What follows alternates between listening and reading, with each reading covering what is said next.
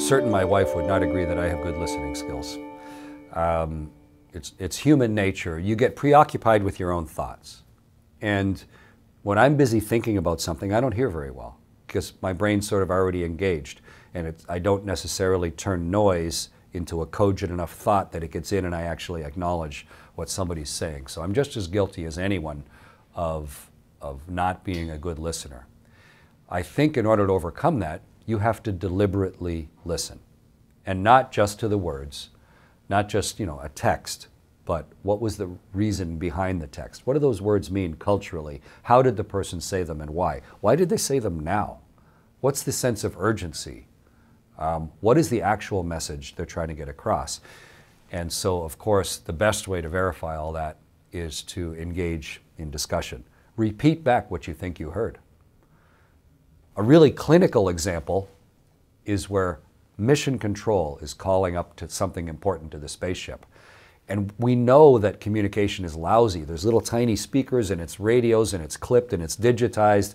And so we can't just count on everybody immediately understanding uh, and having good listening skills. So we have like Houston, station. Station Houston, I'm listening. Okay, Houston, what I wanted to talk to you about was the, uh, whatever, the carbon dioxide removal equipment.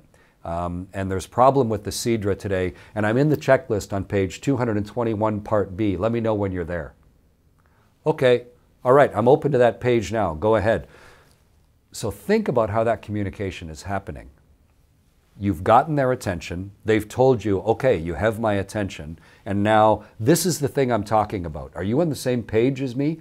Yes, I am on the same page as you. Okay, now that both of us are on the same page, now let's actually discuss why we're trying to do, accomplish this thing. What are the details? What do we need to know? What do you know that I don't know? And then come to a mutual conclusion of, okay, this is what I'm going to do. Yep, I agree. That's what you're going to do. It's so incredibly formalized for talking with the ground but it's a microcosm of a regular conversation between any two people. We just maybe aren't quite as rigorous about it.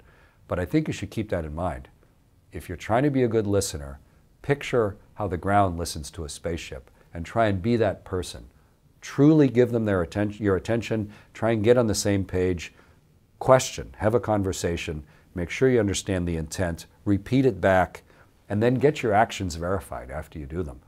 And if you can manage to do all those things, even quickly, then, um, then I think you have the best chance of, of being a good communicator. And, more importantly, a good listener.